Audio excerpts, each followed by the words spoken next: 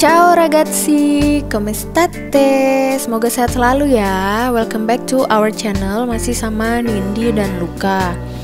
Jadi video ini masih terusan dari video jalan-jalan kita ke Italia Selatan di summer yang lalu. Kalau di video sebelumnya kan kita udah ke Pompei, kita udah ke Amalfi, udah ke Capri. Nah, hari ini adalah waktunya kita ke Sorrento. Sorrento adalah sebuah kota kecil yang bisa dibilang ada di perbatasan antara Napoli dan Amalfi Coast. Jadi laut yang ada di Sorrento itu sudah masuk Amalfi Coast ya. Nah, Sorrento sendiri sering dipakai sebagai tempat transit. Jadi kalau misalnya mau ke Capri, kita bisa berangkat dari Sorrento.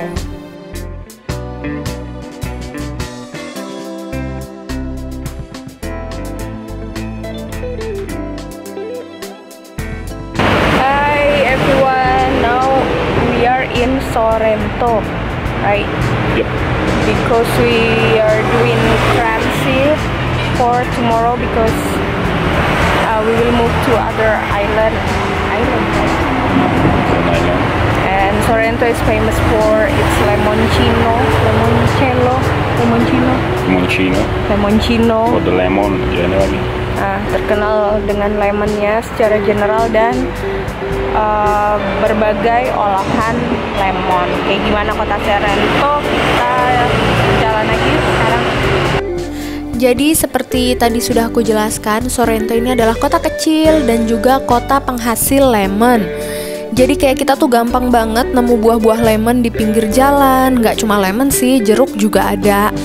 Gitu. Terus Kota ini juga terkenal dengan hasil olahan lemon seperti lemoncino, terus ada semacam dessert bernama baba yang dia kayak direndam di liquor lemon dan banyak banget deh olahan-olahan lemon gitu.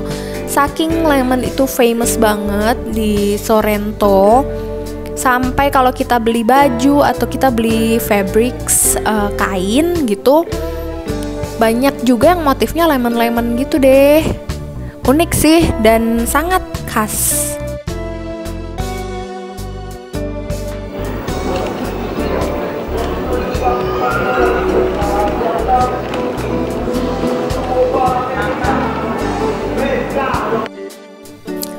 Kalian gak usah panik kalau misalnya mau berkunjung ke Sorrento tapi nggak punya banyak waktu. Kenapa? Karena Sorrento ini kan kotanya kecil, jadi sebenarnya bisa explore semua bagian kotanya dalam kurang dari satu hari lah gitu. Kira-kira setengah hari aja kita udah bisa menjelajah sampai detail.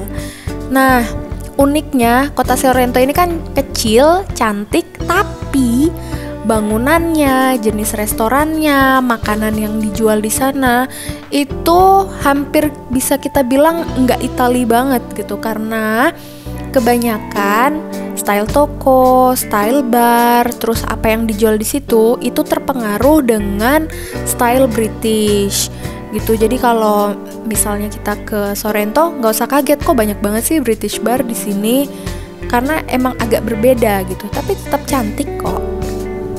Sebagai kota transit, tentu aja banyak banget turis di kota Sorrento ini.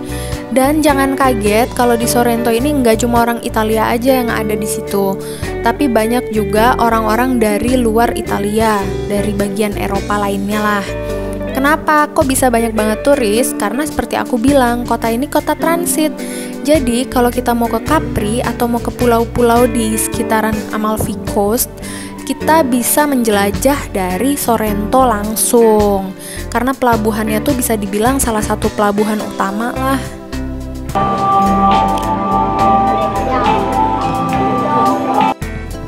Nah, di Sorrento itu banyak banget gang-gang kecil, tapi aku sarankan kalian harus explore bahkan sampai ke gang yang paling kecil. Kenapa? Karena di dalamnya itu banyak banget pusat-pusat perbelanjaan lokal. Jadi kalau kalian cari barang-barang uh, lokal yang khas Sorrento banget, bakal kalian temuin di situ. Terus banyak juga restoran-restoran yang oke okay seperti ini.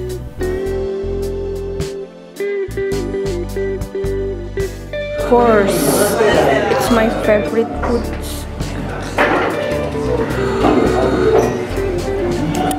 Walaupun makanan yang dijual bukan makanan khas Italia, tapi tetap layak dan patut untuk dicoba ya. Hawis. Buon appetito. Sampai jumpa di jalan-jalan selanjutnya. Jangan lupa subscribe, like, and share. Ciao, ciao.